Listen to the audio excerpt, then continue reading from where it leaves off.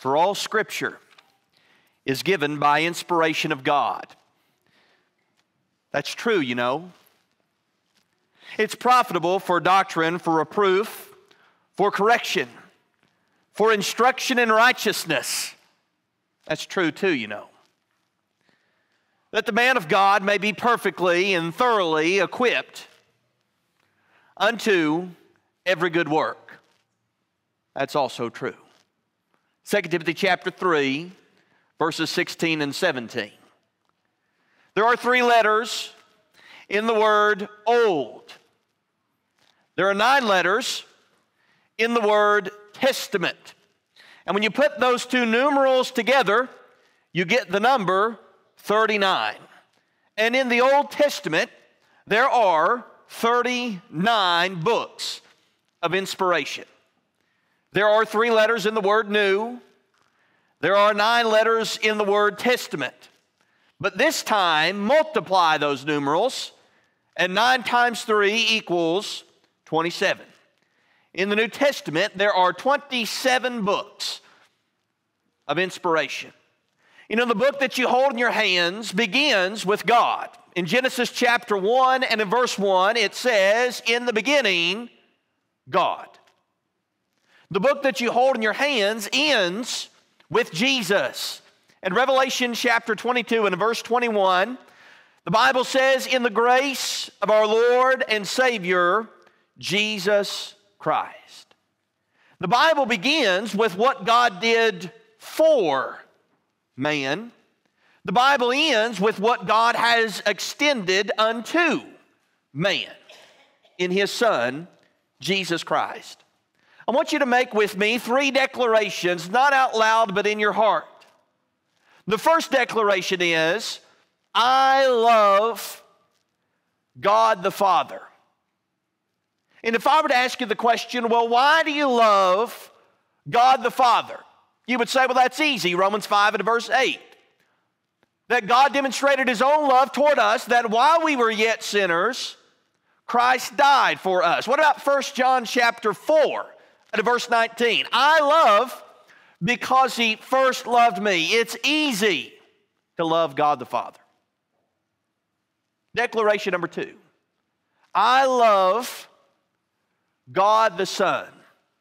If I were to ask you the question, why do you love God the Son? You would say that's easy too. Jesus said himself in John 15, 13, greater love has no one than this, than for one to lay down his life for his friends. Jesus, the Son, demonstrated his love toward me, and I love him because he died for me.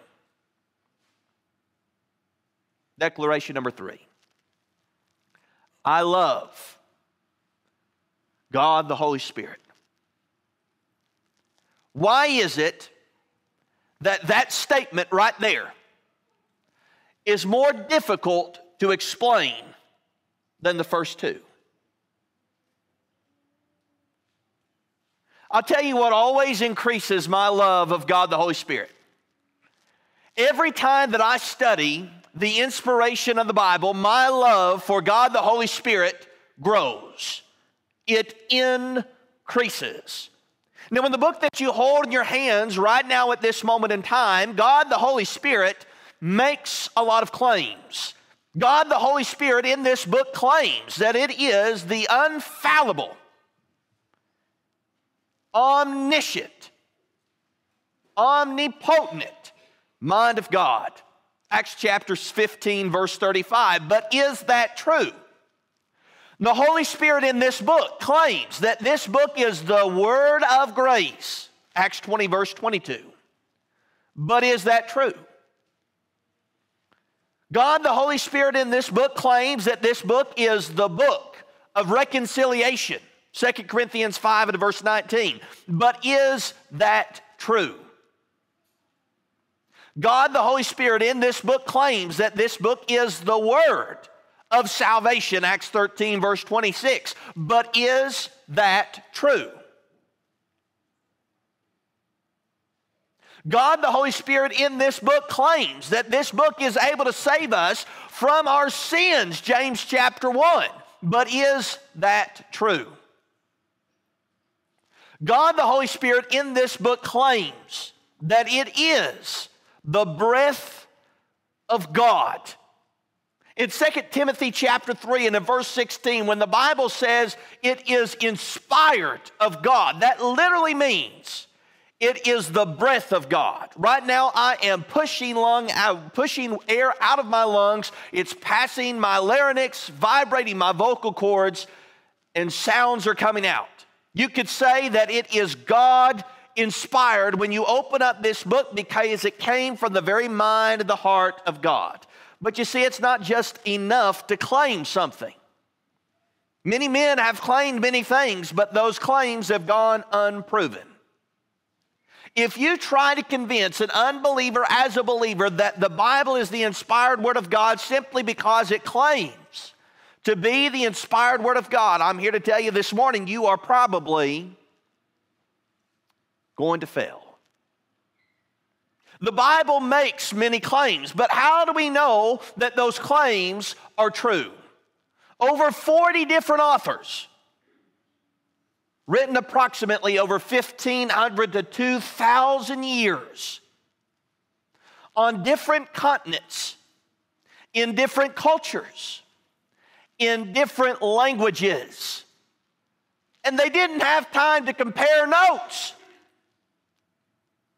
When the first ones wrote, the latter ones had not even been born yet. And when the latter ones wrote, the first ones had been dead for hundreds, if not thousands of years. Yet there is not a single error, not a single fallacy, not a single lie, not a single inaccuracy in all of its pages. How do you account for that? And the only way to account for that is by listening to the words of Peter. In 2 Peter chapter 1 and in verses 20 and 21, when he said, knowing this first, that no prophecy of Scripture is of any private interpretation. For prophecy never came by the will of men, but holy men of God spake as they were moved by born of, carried along by the Holy Spirit. The foundation of biblical inspiration is this assertion that the Bible is not from the mind of men. The Bible is from the mind of God. This morning, I'm going to give you what I believe to be three observations from this book of inspiration that, in and of itself, prove that this Bible did not come from the mind of men, but came from the mind of God. Observation number one the Bible is the inspired Word of God because of this book's brevity. Yes, this book is brief, but it contains untold depth. Let me tell you what I'm thinking about. Have you ever considered the virgin birth of Jesus Christ? If not for the virgin birth of Jesus Christ, all of Christianity falls if the prophecy of Isaiah chapter 7, verses 11 through 14, written some 700 years before is not true, and if it's not fulfilled through Mary, if Mary was promiscuous before marriage and she made up a lie to cover up her promiscuity so that she would not be stoned to death, then she built the entire faith on a lie. But there's 31,102 verses in all the Bible.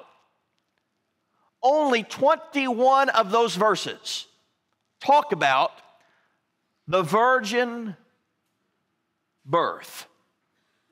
But in those 21 verses, we have all the information that we could ever possibly need to know that Jesus was, in fact, born of a virgin, that Jesus came in the flesh at the appointed time of God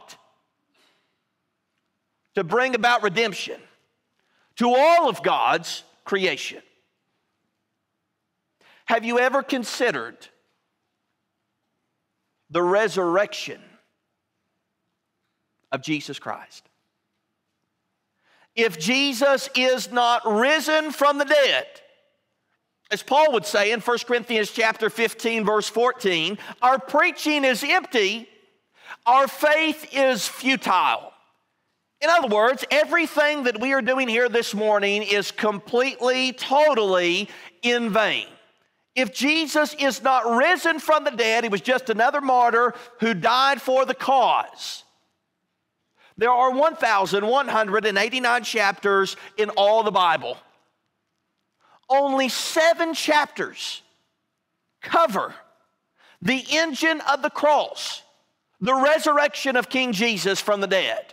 Matthew chapter 28, Mark chapter 16, Luke chapter 24, John chapter 19 through 21, and 1 Corinthians chapter 15.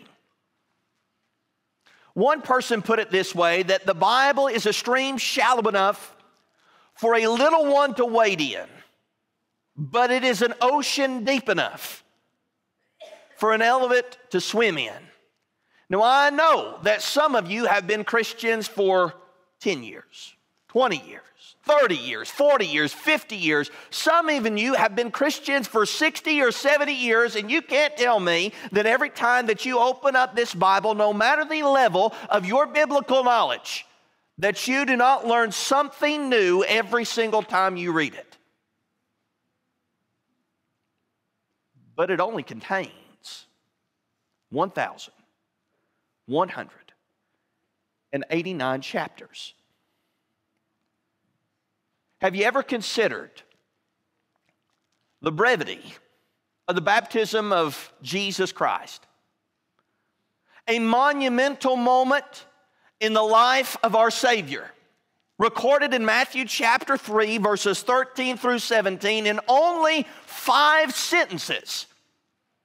But Jesus himself said in verse 15 of Matthew chapter 3 that this was fitting to fulfill all righteousness.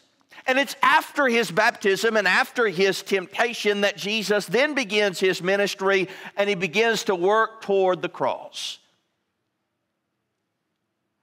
This Bible is brief, but it contains untold depth. There's a lot of books in this old world on shelves that claim to recount the life of men, but the Bible and the Bible alone claims to recount the life of God. There's a whole lot of books on those shelves that claim a revelation, but only this book and this book alone claims a resurrection from the dead. The Bible is the inspired Word of God because of its brevity, but the Bible is the inspired Word of God because of its impartiality. Psalm 119 and verse 161 the psalmist said, But my heart stands in awe of your word. We need to stop treating the Bible as if it is common. We need to stop treating the Bible as if it's just another book that was written by men. We need to stand in awe of the Word of God because when we treat it as common, people view it as common. In Romans chapter 2 and in verse 11, Paul made this statement that there is no partiality with our God. Now, that is not a new revelation whatsoever. In fact, that is the foundation of thousands and thousands and thousands of years of inspired writing. Think about it. Abraham. A great man of faith, as Roger said in Bible class this morning. Romans chapter 4, Galatians chapter 4 says he's the father of them that believe. In Luke chapter 16, of the rich man and Lazarus, in that story, paradise is referred to as Abraham's bosom. What a great privilege. But if men wrote this book, they would not have covered the lies and the doubts of Abraham. If men wrote this book, they would have concealed his adultery with Hagar.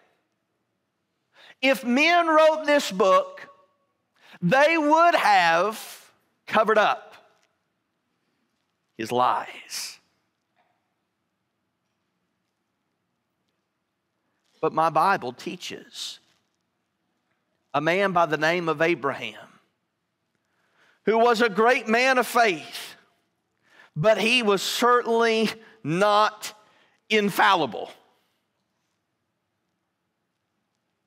What about Moses, that great lawgiver? the greatest leader given among men outside of Jesus Christ. In Deuteronomy chapter 18 and verse 18, Moses said that God's going to raise up another prophet just like me. You know who he's talking about? He's talking about Jesus Christ. Moses is included in the same conversation as Jesus. But one day, God told Moses to speak to the rock, and Moses smote the rock.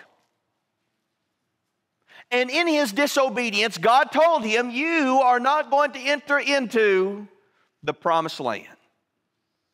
And as Moses stood on that mountain and he looked at that land that flowed with milk and honey, the land that he had been leading millions and millions of Israelites toward for over 40 years, he begged God, please let me enter. Please let me go. And what did God tell him? He told him to shut up. He said, Moses, Speak no more of it to me. Lift up your eyes. You look to the west, you look to the north, you look to the south, and you look to the east. You behold it with your eyes because your feet are never going to touch it. You look at it. Oh, take it in in all of its beauty. But you are never going to cross over this Jordan. What about the three kings? Surely they would not record the sins and the indiscrepancies and the fallibility of kings. What about Saul, David, and Solomon? I can read about Saul's sin in 1 Samuel chapter 15 when he was disobedient directly to the word of the Lord. And God, through a prophet, said to him, It is better to obey than to sacrifice. I could read about David's sin in 2 Samuel chapter 11 when he stood on that rooftop and he beheld that woman. He sent for her, he lied with her, and then he tried to cover it up with lies and murder. David, the greatest king of all of Israel, has his dirty laundry put in the pages of the Bible. What about Solomon? Son of David and Bathsheba. And I could read about his sin in 1 Kings chapter 11. And his sin was strange women who turned his heart away from the Lord. And the Lord came to him and said, I'm going to take your kingdom away from you, but for the sake of David, I'm going to wait until you give it to your son. If men wrote this book, they would have shielded us from their sins, from their failings, from the darkest moments in their life. But God wrote this book, and He yields us from our sins, from the darkest moments in our lives through the examples of these infallible men on the night that my Savior was betrayed. The very men who wrote the pages of the New Testament fled like sheep who had gone astray into the night. And in their darkest moment, when doubt and fear crept into their minds and they feared men more than they feared God. Those things are recorded for us to read. Why would they record their own fallibility? Why would they record their own sins? Because it wasn't from the mind of men, it's from the mind of God. The Bible is the inspired Word of God because of its impartiality. God is not a respecter of persons. And it doesn't matter if you're Abraham, if you're Moses, if you're Jacob. It doesn't matter if you're Matthew, Mark, Luke, and John. It doesn't matter if you're Paul. It doesn't matter if you're Peter. It's recorded right here for you to read it. But the Bible is also the inspired Word of God because of its accuracy. Even the critics of the Bible will say that it's at least 90% accurate. But if they believed in the inspiration of God, they would know that it's 100% accurate. You know that all truth runs in parallel lines all throughout time. And that means that there cannot be an error, there cannot be a misstep, there cannot be a failing, no matter if something was written a thousand years before another. And this book was written over the course of 1500 to 2000 years by 40 different men. Imagine that I started right there in the corner and we played the whisper game. And I whispered something into someone's ear, and they were to pass it all the way through this room to the other side. You and I both know that when it ended up over here, it would not be what it was when it started here.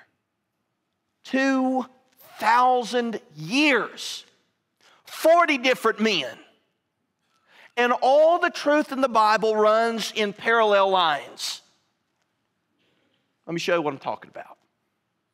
I want you to go back in your Bibles with me to Exodus chapter 7. Moses and Aaron are sent to Pharaoh to deliver a message of God to the king of all of Egypt. Now, you know, it being a message of God, it's going to be accompanied by miraculous means. Why? Because miracles in the Bible were meant to confirm the word. And in Exodus chapter 7, Moses and his brother Aaron, they stand before Pharaoh. And the Bible says the miracle occurs. They drop the rod to the ground and it turns into a serpent. Well, Pharaoh is puzzled, he is bewildered. He starts to question how this could happen. So he calls for the wise men and the sorcerers, the magicians, plural, of Egypt. And they come in, and what do they do? They drop down their enchantments. They throw down their rods, and they became serpents. I don't know how it happened, but the Bible said it did. But it doesn't matter because Aaron's rod swallowed up their rods. God is always greater than men. Question who were the magicians in Exodus chapter 7? Surely, if they lived and they were prominent men of Egypt, they would be recorded somewhere on the pages of some book in some stuffy library for us to read. Surely the names of these men would be in the pages of the inspired Old Testament for us to know and to learn. Surely they would be able to find the names of these men in some hieroglyphic in Egypt and what they put as greatly important in their discoveries. But it wasn't until 1,504 years later that for the very first time in all the Bible were these men's names recorded by Paul. In 2 Timothy chapter 3, starting in verse 18, he said, Now as Jannes and Jambres resisted. Mo- Wait a second. Who is Jannes and Jambres? That's the magicians who resisted Moses in Exodus chapter 7. You can look all throughout the Old Testament, every single book, every single verse, and you will never once find their names. 1,500 years later, how do you account for that? The only explanation is inspiration. In Joshua chapter 6, verse 26, you have a prophecy about old Jericho. Now, the army of God has come into the promised land. They're beginning to conquer by faith. They come into the city of Jericho, and God gives them a little bit of a peculiar battle strategy. He says, You're going to march around the walls of this city in the way that I've commanded you, and when you do, the walls are going to fall. So the walls fall, as God told them they would. They go into the city and they take all, they destroy the city. And Joshua gives a prophecy in verse 26, and he says this Cursed be the man before the Lord who rises up and builds this city, Jericho. Here it is He shall lay its foundation with his firstborn, and with the youngest he shall set up its gates. 500 years pass. And a man by the name of Hiel, in 1 Kings chapter 16 and in verse 34, he must not have heard about the prophecy of Joshua because he tries to rebuild the city of Jericho. And what happens? He lays the foundations with his youngest son, Segub, and with the gates his firstborn son dies, Abiram. And what does it say? According to the word of the Lord which he had spoken through Joshua the son of Nun. How do you account for that? The only explanation is inspiration. Psalm 22, from the pen of the inspired man David. He begins in verse 1 by saying, My God, my God, why have you forsaken me? Doesn't that sound familiar? And in verse 16, he says this They pierced my hands and they pierced my feet. Now, David lived at least a thousand years before Jesus Christ was born. And if that psalm was written, say, in 1000 AD, that means that Psalm 22 was written 500 years before the death of crucifixion was ever invented by the Persians. Meaning that David prophesied a thousand years before the birth of Jesus Christ and 500 years before crucifixion was ever invented that Jesus Christ would die the death of crucifixion. How do you account for that? The only explanation is inspiration. Oh, and what does spit have to do with inspiration? In Isaiah 50 and in verse 6, Isaiah gives us a messianic prophecy, and this is what he says I gave my back to those who struck me. Jesus endured the scourging, literally a mini death, because most people didn't make it through the scourging process of crucifixion. And my cheeks to those who plucked out the beard. Jesus Christ had a beard. And when he was in the process of being crucified, people took his beard by their hands and they pulled it out of his face. Here it is I did not hide my face from shame and spitting. 700 years later, in Matthew chapter 26 and in verse 67, as Jesus is on trial before the Jewish high priest, the Bible begins by saying they spat in his face. But it's deeper than that Because on two separate occasions in the life of Jesus Christ, he actually prophesied that it would happen when he went up to Jerusalem. In Mark chapter 10, verses 33 through 34, he said, Behold, we're going up to Jerusalem, and the Son of Man, that's him, will be betrayed to the chief priests and the scribes, and they will condemn him to death and deliver him to the Gentiles, and they will mock him and scourge him, and did you catch it? Spit on him. How could a detail as minute as spit be so accurate? Because this book is not from the mind of men. Its accuracy demands that this book is from the mind of God. In logic, there's a law. Now, you know that anytime that there is a law, it means that that's pretty serious. It's not a theory like evolution, it's a law. In other words, it's something that is adhered to as a basic principle of logic. In logic, there's a law. It's called the law of the excluded middle. It literally means that either something is or something is not. For example, a square is either square or it's not square. A circle is either circle or it's not circle. A line is either straight or it's not straight. Now, apply that to what you just learned about this book. Either the Bible is inspired of God or it's not.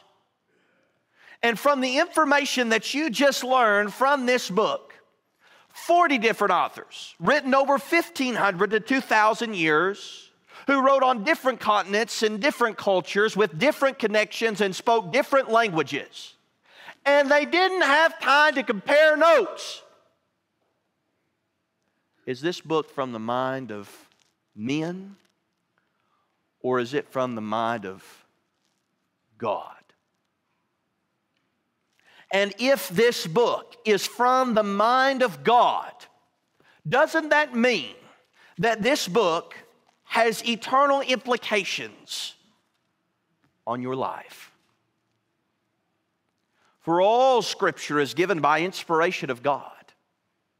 That's true, you know. It's profitable for doctrine, for reproof, for correction, for instruction in righteousness. That's true too.